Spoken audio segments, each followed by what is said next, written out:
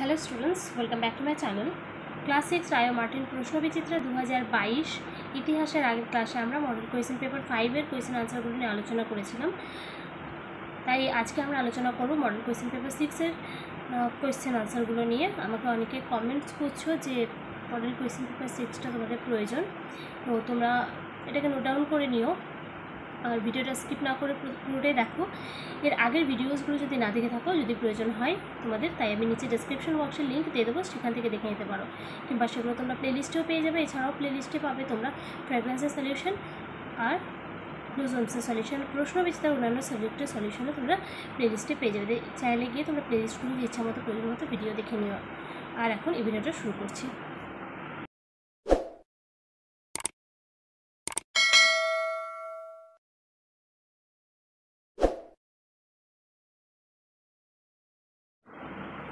Page number two forty seven model question paper six Kolaghat thermal power plant high school এক নম্বরে রয়েছে, দেখো এখানে ঠিক উত্তরটি বেছে নাও। এখানে তিনটে প্রশ্ন, তিন, প্রত্যেকটার মান এক করে মোট তিন নাম্বার।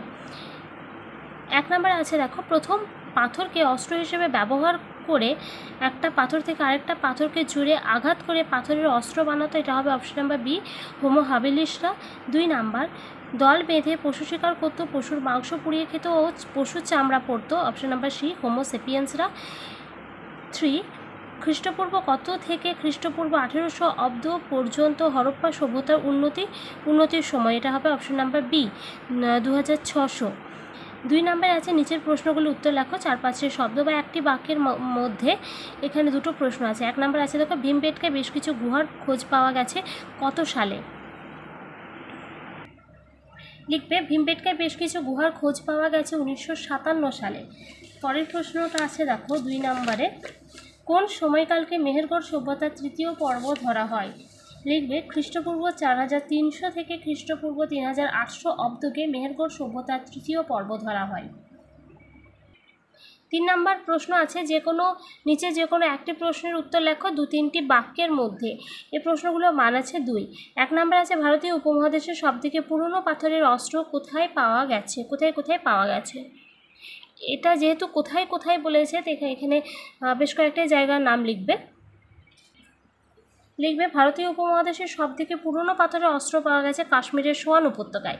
তাছাড়া পাকিস্তানের পটোয়ার মালভূমিতে হিমাচল প্রদেশের শিবালিক পর্বতাঞ্চলে পুরনো পাথরের হাতিয়ার পাওয়া গেছে। পরের প্রশ্ন আছে, দেখো, কেন হরপ্পা সভ্যতায় মাতৃপুজোর চল ছিল বলে তোমার মনে হয়? উত্তরটা লিখবে, খনন কার্য চালানোর সময় প্রত্নতাত্ত্বিকরা হরপ্পার নানা কেন্দ্রে অনেক পোড়ামাটির নারী মূর্তি পেয়েছেন।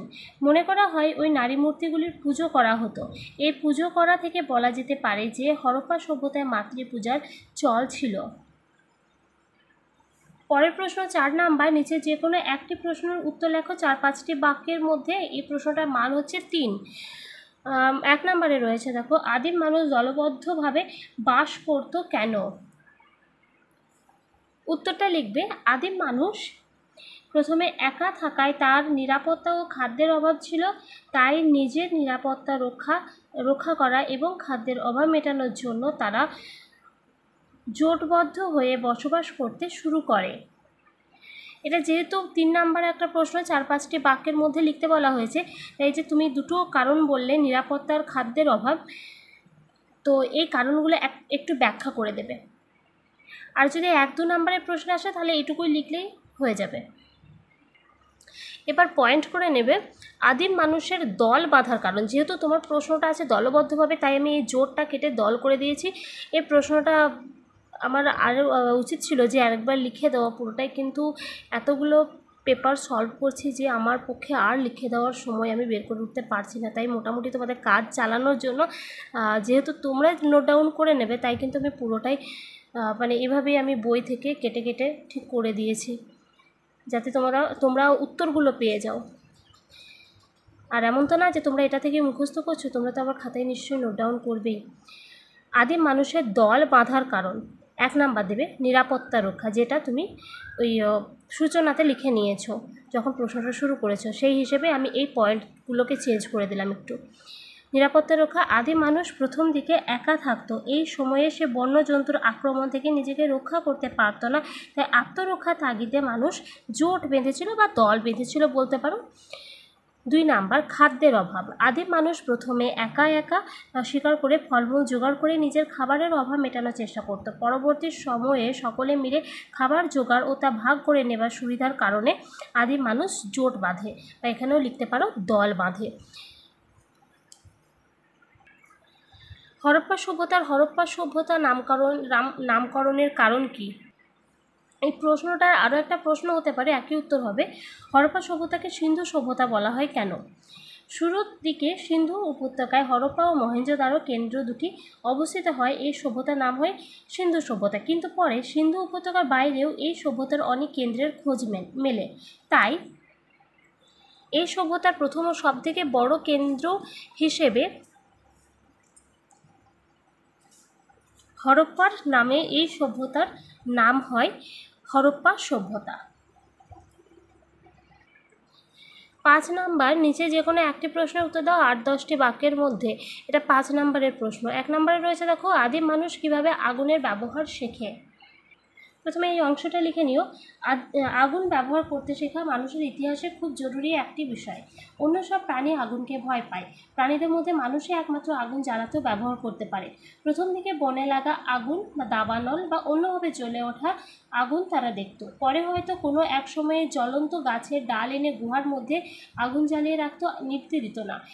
এরপর হঠাৎ একদিন আদিম মানুষ আগুন জ্বালাতে শিখেছিল। হয়তো পাথরের হাতিয়ার তৈরি করতে গিয়ে চকমকে পাথর জাতীয় পাথরের ঠোকাঠুকিতে হঠাৎ জ্বলে ওঠে আগুন অথবা কাঠে কাঠে ঘষে আগুন জ্বালিয়েছিল। তো এটা যেহেতু পাঁচ নাম্বারের প্রশ্ন, তাই এই যে পয়েন্টগুলো বললে দাবানওয়ালা কাঠে কাঠে ঘষে আগুন লাগানো, এগুলো একটু ব্যাখ্যা করে দিও। এটা এখান থেকে, এক নাম্বার থেকে শুরু করবে, পয়েন্ট থেকে। দাবানলের আগুন দেখে। আদিম মানুষ প্রথম দিকে বনজঙ্গলে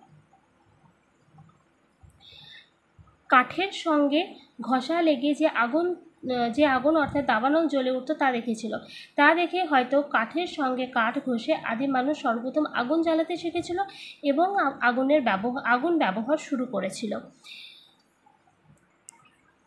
এরপর লিখবে দুই নাম্বার, পাথরের ঠোকাঠুকিতে জ্বলে ওঠা আগুন দেখে। আদিম মানুষ পাথরের হাতিয়ার তৈরি করতে গিয়ে দেখে চকমকে জাতীয় পাথরের ঠোকাঠুকিতে হঠাৎ আগুন জ্বলে ওঠে। তা দেখে পাথরের পাথর ঠুকে আদিম মানুষ হয়তো আগুন জ্বালাতে শিখে তা ব্যবহার করে। শেষ প্রশ্ন, দুই নম্বর প্রশ্ন হরপ্পা সভ্যতার লিপির বর্ণনা দাও। এই প্রশ্নটা টিকা হিসেবে আসতে পারে হরপ্পা সভ্যতা লিপি। সূচনা প্রায় প্রায় ইতিহাস যুগের সভ্যতা হরপ্পা সম্পর্কে জানতে এই সভ্যতায় প্রাপ্ত লিপির মূল্য অপরিসীম। হরপ্পা সভ্যতা লিপি এক নম্বর লিপি দুর্বোধ্য। হরপ্পাবাসীরা লিখতে পারত, কিন্তু সেই লিপি আজ অবধি পড়া সম্ভব হয়নি। শুধু লিপি দেখে এই সভ্যতার সম্বন্ধে খানিকটা অনুমান করা গেছে। দুই নম্বর, সাংকেতিক। হরপ্পার লিপিগুলি সাংকেতিক। লিপিগুলিতে সর্বমোট তিনশো পঁচাত্তর থেকে চারশোটির মতো চিহ্ন আছে। তবে মনে করা হয় হরপ্পার লিপিতে বর্ণমালা ছিল না এবং লিপিতে ব্যবহৃত ছোট চিহ্নগুলো সম্ভবত সংখ্যাকে বোঝাতো। তিন নাম্বার, লিপি লেখার নিয়ম। হরপ্পা লিপিগুলি লেখা হতো ডান দিক থেকে বাম দিকে। চার নাম্বার, দ্রাবিড় ভাষার সঙ্গে মিল। অনেকের অনুমান দ্রাবিড় ভাষার সঙ্গে হরপ্পা ভাষার মিল ছিল। পাঁচ নাম্বার, মাধ্যম। পাত্র, শিলমোহর, তামার, ফলক সহ নানা জিনিসের ওপরে হরপ্পা সভ্যতার লিপির খোঁজ পাওয়া গেছে। এই সভ্যতার ঢোলাবিরা কেন্দ্র থেকে সাইনবোর্ডের মতো একটি জিনিস মিলেছে। ছয় নম্বর পয়েন্ট করবে গুরুত্ব। বলা চলে, হরপ্পা সভ্যতার উন্নতির নমুনা হলো তার লিপিগুলি।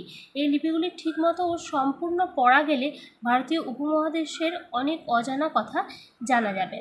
তো এটাই ছিল পরের কোয়েশ্চেন পেপার সিক্সের প্রশ্নোত্তরগুলো। যদি ভিডিওটি ভালো লেগেছে, তো প্লিজ লাইক করো কমেন্টস করে জানিও বন্ধুর সঙ্গে শেয়ার করে দিও। নতুন হয়ে থাকলে চ্যানেলটি সাবস্ক্রাইব করে পাশে থাকা বেলাইকনটি প্রেস করে দিও, যাতে নেক্সট ভিডিও আপলোড করলে তার নোটিফিকেশন সবার আগে তোমার কাছে চলে যায়।